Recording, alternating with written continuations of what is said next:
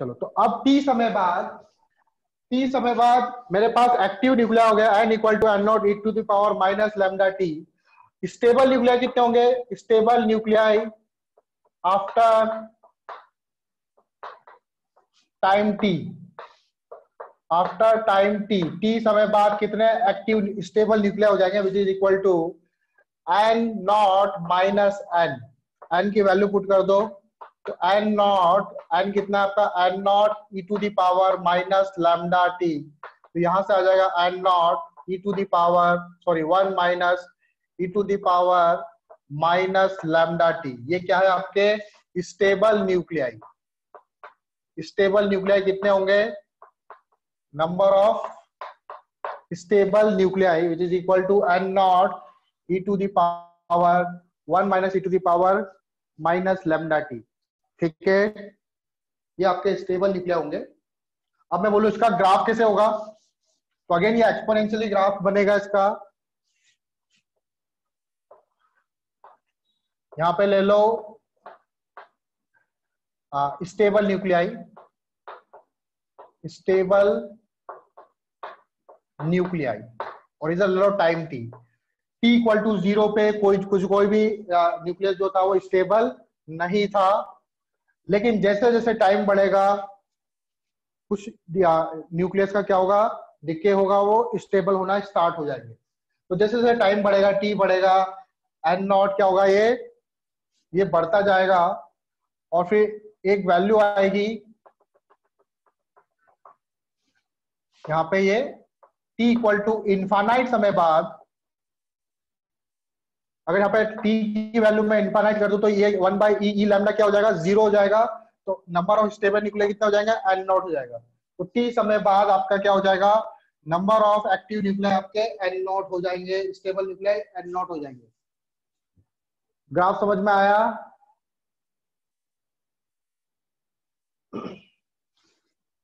ठीक है। T equal to infinite समय बाद स्टेबल न्यूक्लियर की संख्या हो जाएगी कितनी? एन नॉट अब जैसे दो एलिमेंट दे रखे हैं मुझे, स्टार बना के लिख लेना। If lambda A is greater than lambda B इससे आप क्या समझते हो? अगर किसी न्यूक्लियस का लैम्डा ज़्यादा है एज कंपेयर टू दूसरे न्यूक्लियस के तो इससे हम लोग क्या समझते हैं कि जो बी है, जो सॉरी ए जो है वो मोर रेडियो एक्टिव है देन बी ए जो है, जिसका लैम्डा ज़्यादा होगा, वो ज़्यादा रेडियो एक्टिव होगा। A is more radioactive than radioactive than B. तो लैम्डा से हम लोग पता लगा सकते हैं कि कौन ज़्यादा एक्टिव रेडियो एक्टिव है। जिसका लैम्डा ज़्यादा होगा, वो ज़्यादा रेडियो एक्टिव होगा। ठीक, इसके बाद आता है हाफ़ लाइफ वगैरह निकालना। हाफ़ लाइफ एवरेज लाइफ वो निकालते हैं हम लोग अब। अब नेक्स्ट टॉपिक डालो। Half life half life of a sample half life of a sample ये फॉर्मूला आप लोगों को याद रखना है ठीक है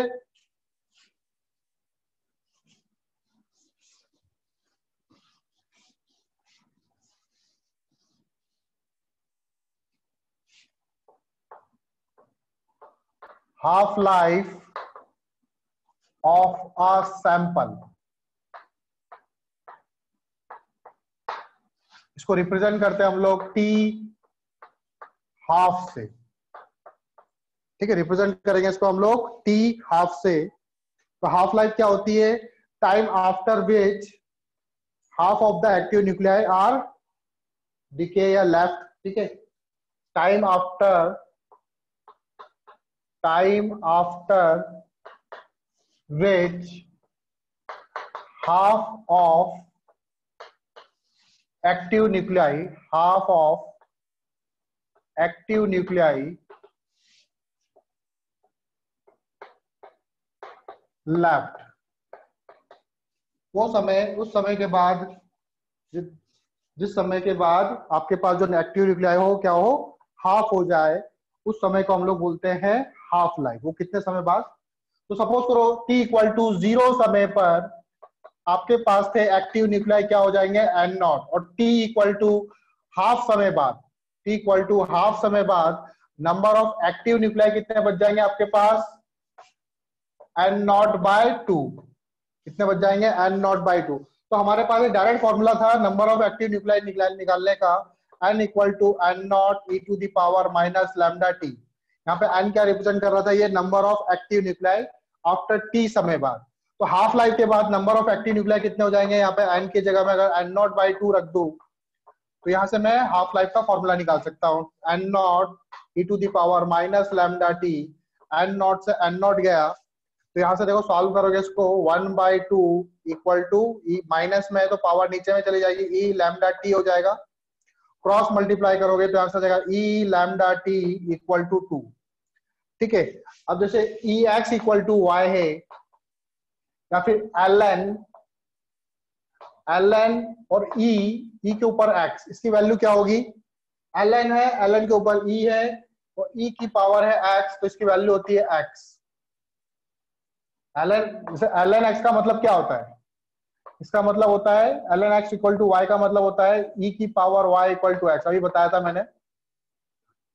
तो यहाँ पर इसका मतलब क्या होगा? कि ई e की पावर कितनी रखूँगी? एक्स आ जाए तो कितनी रखनी पड़ेगी ई e की पावर एक्स इसलिए इसका आंसर एक्स होगा। तो यहाँ पर अगर मैं दोनों तरफ़ लॉग ले लू taking log both side taking log both side दोनों तरफ़ लॉग ले लो आप बोथ साइड तो ये हो जाएगा, इस तरफ़ हो जाएगा लैमडा टी और इस तरफ़ आ जाएगा आपका L N two L N two की वैल्यू होती है आई थिंक 0.693 या तो एल एन टू रहने दो आप, बाद में इसको चेंज करेंगे। लैमडा टी तो यहाँ से टी की वैल्यू क्या आ जाएगी? तो ये आपका टी जो है टी हाफ़ बन जाएगा हाफ़ लाइफ ये हो जाएगा L N two by lambda और एल एन टी की वैल्यू आप रख दो, इसकी वैल्यू होती है शायद zero point six nine three by lambda ठीक है? एक बार चेक कर लेते हैं zero point six nine three होती है क्या? हाँ zero point six nine three होती है इसकी value zero point six nine three by lambda तो हाफ़ लाइफ का आपके पास फॉर्मूला आया क्या? L N two by lambda या फिर zero point six nine three by lambda ठीक है? ये फॉर्मूला आप लोगों को याद रखना है। Sample activity of a sample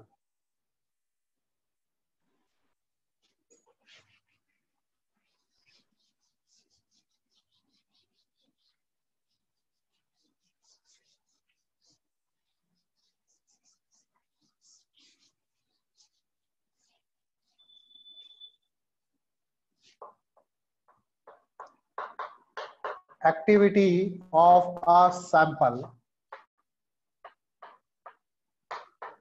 ठीक है, इसको ए से डिनोट करते हैं। और मैंने बताया था कि एक्टिविटी जो होती है रेट ऑफ़ डिसइंटीग्रेशन या रेट ऑफ़ डिके को ही हम लोग एक्टिविटी बोलते हैं। तो एक्टिविटी इक्वल टू क्या होता है? Minus D N by D T और minus D N by D T आपका लैमडा एन था। याद हो आपको? रदरफोर्ड फॉडी ने दिया था minus D N by D T equal to होता है लैमडा एन और एन क्या होता है? हमने फर्दर इसको सॉल्व किया था नंबर ऑफ़ टी समय बाद नंबर ऑफ़ एक्टिव न्यूक्लिया कितने बच जाएँगे? नंबर ऑफ़ एक्टिव न्यूक्लिया हो जाता है कितने? N not e to the power minus lambda T यही था एन की वैल्यू टी समय बाद एन की वैल्यू क्या होगी? N not e to the power minus lambda T ये भी फॉर्मूला आया था हमारे पास। तो देखो, यहाँ से फर्दर सॉल्व करेंगे तो ए इक्वल टू क्या हो जाएगा? Lambda N not e to the power minus lambda T ये लैमडा एन नॉट कॉन्स्टेंट बन जाएगा, इसको बोलेंगे हम लोग ए नॉट इसको हम लोग बोलेंगे ए नॉट ए नॉट क्या होता है? ए नॉट आपका एक्टिविटी एट ज़ीरो समय पर। ये क्या होगा? A not activity at T equal to zero जब समय ज़ीरो था, तब उसकी एक्टिविटी क्या थी? ये आपकी मैक्सिमम वैल्यू होगी। ठीक है? ये आपकी वैल्यू क्या होगी? मैक्सिमम होगी।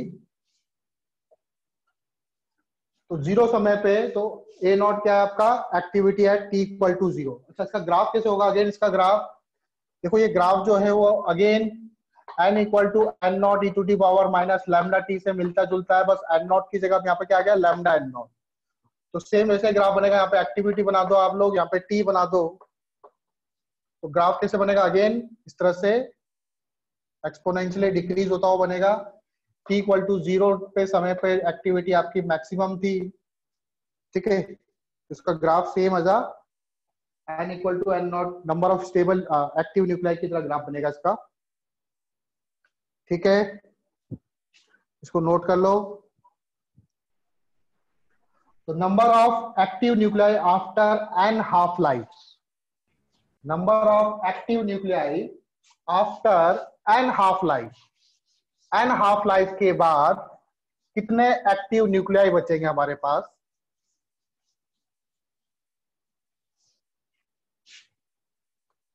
Number of active nuclei after N half life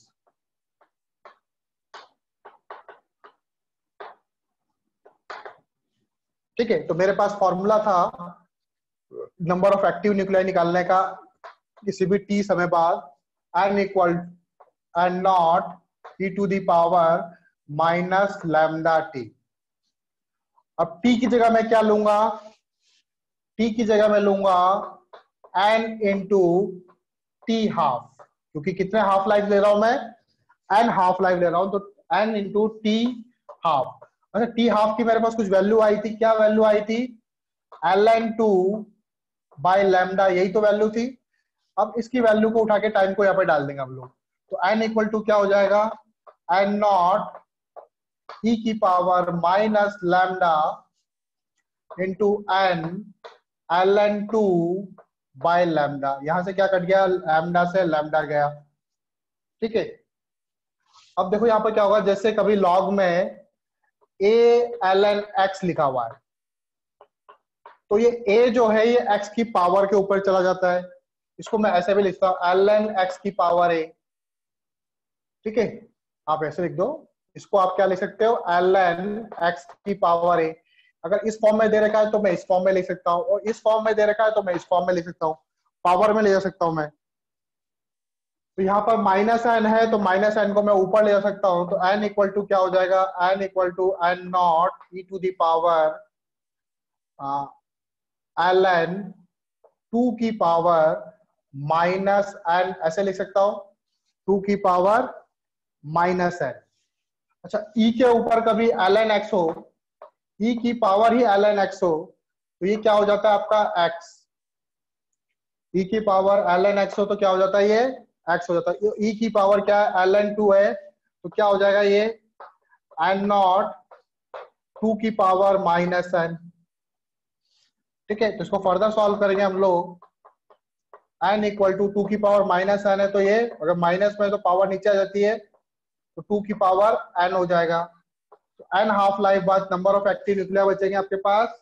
N not by two N ठीक है? अब जैसे मैंने आपसे पूछा था कि एक हाफ़ लाइफ बाद, एक हाफ़ लाइफ बाद एन की वैल्यू एक हाफ़ लाइफ वन लिखो तो आधा हो जाएगा। टू हाफ़ लाइफ टू का स्क्वायर करेंगे N not by four that twenty five percent हो जाएगा। थ्री हाफ़ लाइफ बाद तो कितना हो जाएगा? टू का क्यूब हो जाएगा एट हो जाएगा तो आंसर आएगा ट्वेल्व पॉइंट फाइव परसेंट ठीक है? और चार करेंगे तो टू की पावर फोर तो आ जाएगा सिक्स पॉइंट टू फाइव इस तरह से आपको जितनी हाफ़ लाइफ दे रखी है, आप लोग निकाल सकते हो। सिमिलरली एक्टिविटी अगर हमसे पूछे activity after N half life तो एक्टिविटी के लिए भी सेम फॉर्मूला है, क्योंकि नंबर ऑफ़ न्यूक्लियाई और नंबर ऑफ़ एक्टिव न्यूक्लियस दोनों के फॉर्मूले सेम है।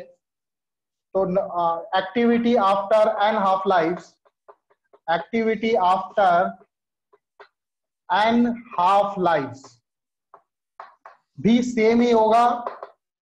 क्या हो जाएगा? Activity after N half life A not divided by A की पावर सॉरी टू की power N A equal to A not same formula A equal to A not divided by two की power N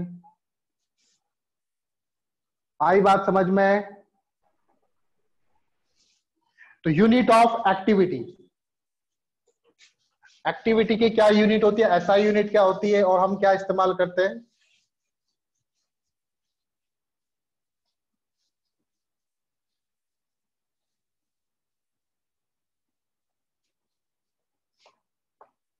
unit of activity इसकी ऐसा unit होती है disintegration.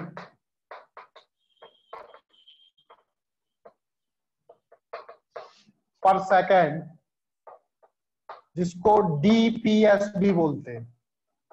Disintegration पर second DPS या फिर इसको हम लोग बैक्यूरल भी बोलते हैं। बैक्यूरल ठीक है स्पेलिंग देख लेना। और इस शॉर्ट में हम लिखते लिखते हैं इसको बी क्यू ठीक है बैक्यूरल शॉर्ट में इसको बी क्यू भी लिखते हैं।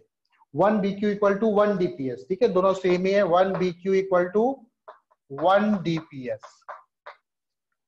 इसके अलावा और यूनिट होती है that is Rutherford Rutherford is also the unit of activity one Rutherford one Rutherford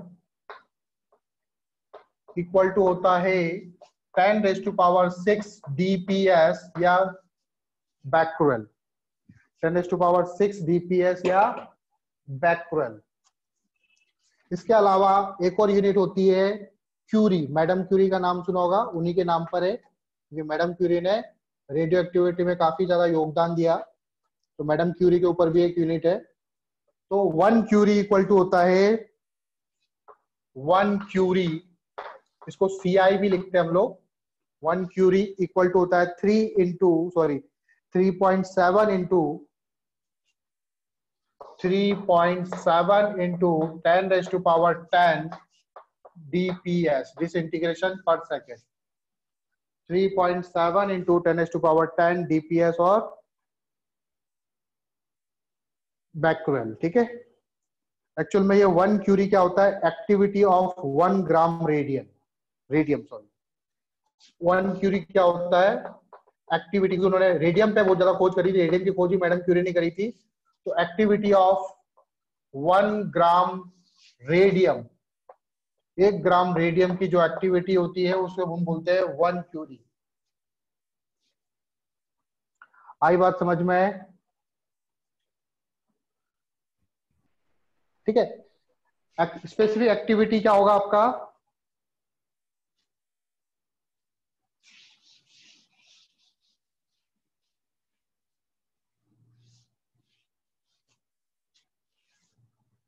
Specific activity.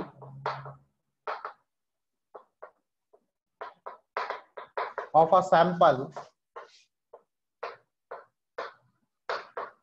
Is equal to activity per unit mass.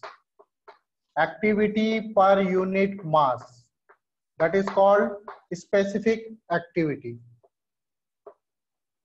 per unit mass की जो एक्टिविटी होगी, उसको हम बोलेंगे स्पेसिफिक एक्टिविटी ठीक है, इसके बाद आता है एवरेज लाइफ एवरेज लाइफ कैसे निकालते हैं? मान लो सौ आदमी है या फिर दस आदमी है। एक आदमी मर रहा है साठ साल की उम्र में। एक आदमी मर रहा है सत्तर साल की उम्र में। एक मर रहा है चालीस साल की उम्र में। ठीक है, एक मर रहा है पचास साल की उम्र में, फिर एक और साठ साल की उम्र में। तो हम क्या करेंगे? सबकी एज को जोड़ देंगे कि कौन कितने साल बाद खत्म हुआ। और फिर उसको जितने नंबर ऑफ़ पीपल से उससे डिवाइड कर देंगे। उसी तरह से एवरेज लाइफ कैसे निकालते हैं हम लोग? सेम एवरेज लाइफ हम लोग न्यूक्लियस के लिए भी निकालेंगे। Average life of a sample average life of a sample average life मतलब लाइफ ऑफ़ कि सभी न्यूक्लियस की जो है वो एवरेज लाइफ कितनी है? जो उसका फॉर्मूला होता है टी एवरेज ये वैसा डेरिवेशन भी इसका डेरिवेशन भी मैं नहीं करवा रहा। आप लोग बोलोगे तो डेरिवेशन भी करवा देंगे। टी एवरेज इक्वल टू होता है वन बाय लैमडा ठीक है? इसका वन बाय लैमडा कर दोगे आप तो टी एवरेज निकल जाएगा विच इज़ इक्वल टू इसको लिख सकते हो sum of ages of all nuclei सभी न्यूक्लियाई की एजेस का सम, ठीक है, sum of ages of all nuclei divided by total number of nuclei total number of nuclei तो क्या निकल जाएगा आपके पास? एवरेज लाइफ निकल जाएगी, ठीक है, इसका फॉर्मूला भी याद रखो। एवरेज लाइफ का फॉर्मूला होता है one by lambda. Lambda given है आप लोगों को तो एवरेज लाइफ आप लोग निकाल सकते हो। आई बात समझ में?